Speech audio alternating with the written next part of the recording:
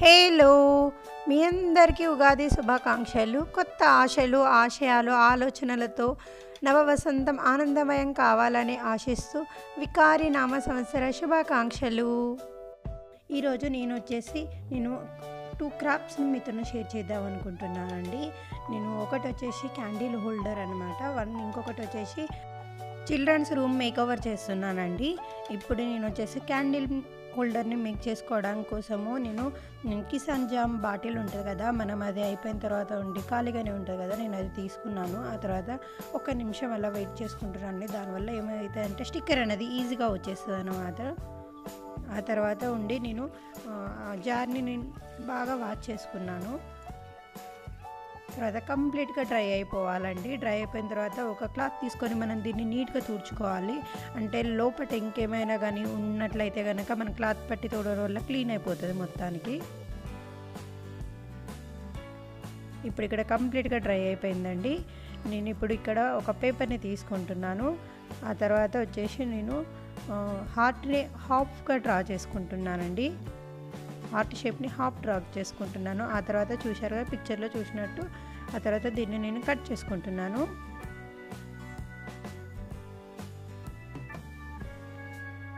ఇలా కట్ చేసుకోవాలండి. సేమ్ నాకు ఇలాంటి టూ కావాలండి. నేను దీనికోసం అని చెప్పేసి ఇంకొకటి కూడా కట్ చేసుకున్నాను. టూ కట్ చేసుకున్నాను సేమ్ సైజ్వి. ఆ తర్వాత గ్లూ స్టిక్ తీసుకొని ఓన్లీ సైడ్లకు మట్టుకే గ్లూ అప్లై చేయాలండి. టూ షేప్కి అప్లై చేసుకోవాలి. ఆ తర్వాత ఉండి ఇలా జార్కి స్టిక్ చేసుకోవాలి. Two heart shapes opposite sides ఉండేలాగా షిఫ్ట్ చేసుకోవాలండి. ఎగ్జాక్ట్ అంటే ఎగ్జాక్ట్ అపోజిట్ సైడ్స్ ఉండేలాగా స్టిక్ చేసుకోవాలి. యాక్చువల్లీ ఇది చాలా చాలా అంటే చాలా ఈజీ అనమాట ఈ ఆర్ట్ మేకింగ్ అనేది. మన ఇంట్లో చాలా జార్స్ ఉంటూనే ఉంటాయి కదా అవన్నీ అలానే వేస్ట్ అయిపోతూ ఉంటాయి కదా. ఏదైనా సరే జార్స్ ఉన్నా సరే ఏ ఏ షేప్స్ అయినా ఎలా అయినా ఉన్నా కూడా ఇలా మేక్ చేసుకోవచ్చు. చాలా అంటే చాలా బాగుంటుంది. మన ఇంట్లో నేనైతే ఇంట్లో ఉన్న వాటితోనే చేస్తున్నానండి ఏం సపరేట్గా దీనికోసం నేనేం కొనుక్కరాలేదు. గ్లిటర్స్ అనేటివి నేను త్రీ ఇయర్స్ బ్యాక్ తీసుకొని ఉన్నానండి. అవి అలానే ఇంట్లో ఉన్నాయి ఏం చేయాలనే ఆలోచన వచ్చి ఇలా చేస్తున్నాను. ఆ తర్వాత నేను టూ హార్ట్స్ని సేమ్ ఆపోజిట్ సైడ్స్లో నేను స్టిక్ చేసుకున్నాను. ఆ తర్వాత ఉండి గ్లూ వేసి వైట్ గ్లూ వేసి నేను మంచి ఈక్వల్గా స్ప్రెడ్ అయ్యేలాగా మొత్తం బ్రష్తోని స్ప్రెడ్ చేసుకుంటున్నానండి. ఎక్కడ గ్యాప్స్ లేకుండా ప్రాపర్గా అప్లై చేసుకోవాలండి గ్లూని. ఓన్లీ కింది పోర్షన్కి మాత్రమే అప్లై చేసుకోవాలండి పైన కాదు జార్కి. ఆ తర్వాత నేను దానిపైన గ్లిటర్ని వేస్తున్నానండి. చాలా ఈజీ అండి. ఒక ఫైవ్ ఐటమ్స్ అవసరం దీనికోసము. జార్స్ అయితే మరి ఇంట్లోనే ఉంటాయి. ఆ తర్వాత వచ్చేసి గ్లూ కావాలి. గ్లూ కూడా ఇంట్లోనే ఉంటుంది. పిల్లలు ఉంటే కనుక కంపల్సరీగా ఇంట్లో ఉంటుంది. ఆ తర్వాత వచ్చేసి గ్లిటర్. గ్లిటర్ ఒకటి కనుక లేకున్నట్లయితే కొనుక్కోండి. అంతే అండి. చాలా అంటే చాలా సింపుల్ ఈజీ. దీంతో నేను సేమ్ నెక్స్ట్ ఐటమ్ కూడా ఇవే ఐటమ్స్ యూజ్ చేస్తున్నానండి దాంట్లో కూడా. ఆ తర్వాత మొత్తం గ్లిటర్ అంతా అప్లై చేసుకున్న తర్వాత ఉండి ఒకసారి ఇలా అనుకోవాలండి. ఇలా అనడం వల్ల ఏమవుతుందంటే గ్లిటర్ అనేది మనము ఇలా అనకుండా ఉన్నట్లయితే అది ఊకే కింద పడుతూ ఉంటుంది అనమాట ఇలా అన్నట్లయితే అది బాగా స్టిక్ అయిపోతుంది టైట్గా. ఆ తర్వాత ఉండి నేను ఇవి తీసేస్తున్నానండి. ఇంకా ఇప్పుడేం డ్రై అవ్వలేదు. అయినా కూడా నేను తీసేస్తున్నా. ఎందుకంటే అది పేపర్ కదా అది స్టిక్ అయిపోయి అక్కడ మనకి ఇంకా స్టిక్ అయిపోయే ఛాన్సెస్ ఉంటాయి అనమాట అందుకనే ఉండి నేను తీసేస్తున్నాను. తీసేసిన తర్వాత ఒక టిష్యూ తీసుకొని కొంచెం లైట్గా వాటర్ పెట్టుకొని చాలా అంటే చాలా తక్కువ వాటర్ పెట్టుకొని అంటే దాని లోపల ఏమైనా పడ్డా కూడా సైడ్స్ కొంచెం షేప్ ఏదైనా రాకపోయినా గిట్ట అదంతా నీట్గా క్లీన్ చేసుకోవాలి. చూశారు కదా నేను మొత్తం అలా నీట్గా క్లీన్ చేసుకున్నానండి. అంటే లోపల ఏదైనా గ్లిటర్ పడ్డా కూడా అదంతా క్లీన్ చేసేసుకోవాలి ఇప్పుడే. చూసారా అంతే అండి రెడీ అయిపోయింది.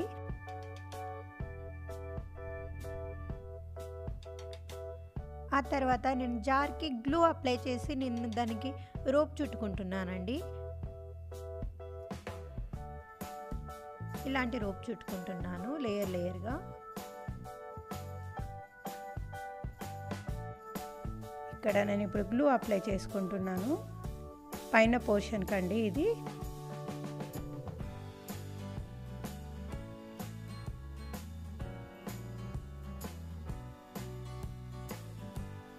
ఆ తర్వాత అలా దాని చుట్టూ చుట్టుకోవాలండి. నాకు ఇక్కడ వచ్చేసి నాకు త్రీ లేయర్స్ వచ్చిందండి. నేను త్రీ టైమ్స్ చుట్టుకున్నాను. దాని చుట్టూ వచ్చేసి నాకు త్రీ లేయర్స్ వచ్చింది. మీరు తీసుకునే జార్ని బట్టి ఉంటుందండి ఎన్ని లేయర్స్ వస్తుంది అని చెప్పేసి అక్కడ. అంతే అండి. ఆ తర్వాత నేను ఇప్పుడు ఇక్కడ కట్ చేసుకుంటున్నాను.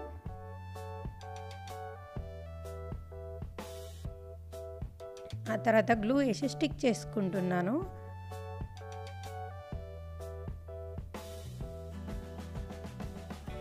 అంతే అండి రెడీ అయిపోయింది. మనం డ్రై అయిపోయిన తర్వాత ఇంకా మనం ఎక్కడైనా అందులో క్యాండిల్ పెట్టుకొని ఎక్కడైనా పెట్టుకోవచ్చు అనమాట ఎనీ డెకరేషన్ ఐటమ్స్ దగ్గర పెట్టుకోవచ్చు. అంటే చాలా అంటే చాలా బాగుంటుంది. నేను ఇక్కడ వచ్చేసి మీరు ఏ కలర్ అయినా యూజ్ చేయొచ్చు అని చెప్పేసి చూస్తూ ఉన్నాను. నేను ఇప్పుడు చూపిస్తాను ఇంకా నేను డిఫరెంట్గా కూడా చేశాను. ఇక్కడ చూసారా నేను రెడ్ది ఒకటి చేశాను. ఆ తర్వాత నేను ఇంకా సేమ్ నేను వచ్చేసి సిల్వర్ కలర్లో ఇంకా టూ వన్ చేసుకున్నానండి. ఇంకొకటి వచ్చి ఇప్పుడు చేసింది అది.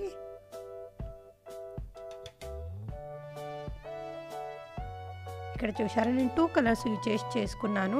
మీ ఇష్టం అండి. మీరు ఎలా అంటే అలా యూజ్ చేసుకోవచ్చు? అది మీ థాట్ని బట్టి ఉంటుంది అనమాట ఎలా అయినా చేసుకోవచ్చు. ఎన్ని కలర్స్ అయినా యూజ్ చేయొచ్చు. అంతే అండి. ఆ తర్వాత ఇట్లా క్యాండిల్ పెట్టుకొని ఇలా పెట్టుకోవచ్చు. చూసారా ఎంత బాగుందో?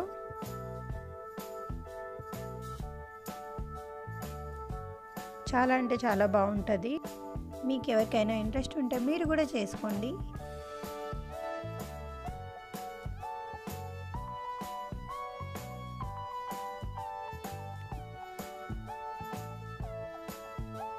చూసారా చాలా అంటే చాలా బాగుంది కదా? ఓకే అండి ఇంకా ఇది ఇంతే అండి. నేను ఇంకొక నెక్స్ట్ క్రాప్కి వెళ్ళిపోతున్నాను. దానికోసం కావాల్సిన పదార్థాలు గ్లిటర్స్ సిజరు పెన్సిల్ వైట్లు అండ్ కలర్ పేపర్స్ అండి. ఏ కలర్ పేపర్స్ అయినా తీసుకోండి. నేను ఇక్కడ వచ్చేసి నేను పింక్ గ్రీన్ ఎల్లో అలా తీసుకుంటున్నాను. డిఫరెంట్ డిఫరెంట్ కలర్స్ ఆ తర్వాత నేను ఇక్కడ స్టార్ షేప్ని నేను డ్రా చేస్తున్నాను. నేను టూ స్టార్స్ షేప్ని డ్రా చేస్తున్నానండి. టూ డిఫరెంట్ సైజెస్ అనమాట నేను ఆ సైడ్లో కట్ చేసుకుంటున్నానండి. మొత్తం కట్ చేసుకోవట్లేదు ఓన్లీ సైడ్లో కట్ చేసుకుంటున్నాను. చూసారా ఇలా కట్ చేసేసుకున్నాను. ఇలా నేను వచ్చేసి నేను ఇందులో ఫోర్ కలర్స్ యూజ్ చేస్తున్నానండి స్టార్స్ కోసం అని చెప్పేసి. Green blue pink yellow. ఆ తర్వాత ఉండి దీనిపైన కొంచెం గ్లూ వేసుకొని ఇలా మొత్తం గ్లూ అంతా అప్లై చేసుకోవాలండి. ఎక్కడ గ్యాప్స్ లేకుండా.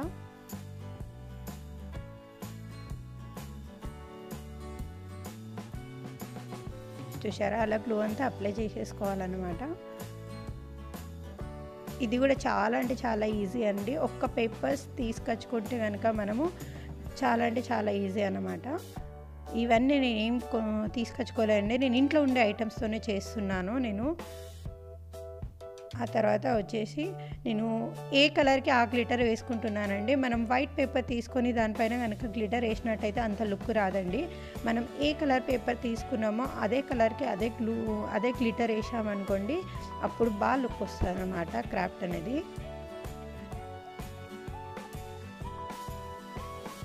ఇలా గ్లిటర్ అంతా అప్లై చేసిన తర్వాత నేను పెన్సిల్తో ఇలా రోల్ చేస్తున్నానండి. ఇలా రోల్ చేయడం వల్ల ఏమవుతుందంటే గ్లిటర్ అంటే దానికి బాగా స్టిక్ అయిపోతుంది అనమాట ఆ తర్వాత నేను స్టార్స్ని పిక్ చేసుకొని డ్రై అవ్వడానికి పెట్టుకుంటున్నానండి పక్కకి. ఆ తర్వాత నేను పింక్ స్టార్స్ని కూడా తీసుకొని పక్కకు పెట్టుకున్నాను. ఆ తర్వాత ఈ గ్లిటర్ని అనేది మనం ఈజీగా బాక్స్లోకి షిఫ్ట్ చేసేసుకోవచ్చండి.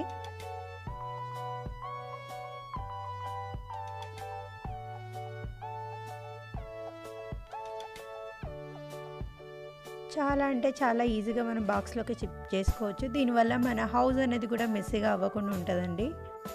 తర్వాత నేను అదే వైట్ పేపర్ పైన పింక్ స్టార్స్ను పెట్టుకొని నేను గ్లిటర్ వేస్తున్నానండి దానిపైన. ఆ తర్వాత నేను పెన్సిల్తో రోల్ చేస్తున్నాను.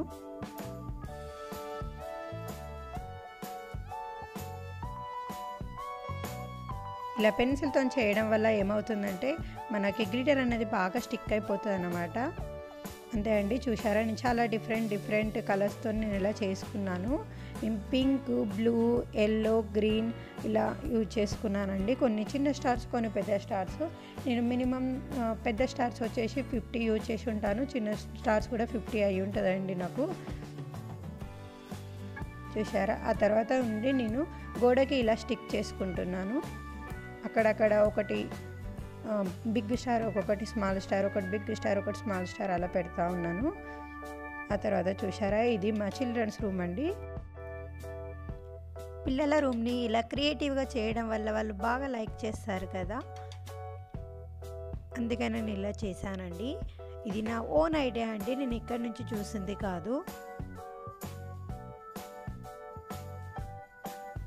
చాలా అంటే చాలా బాగుంది కదా.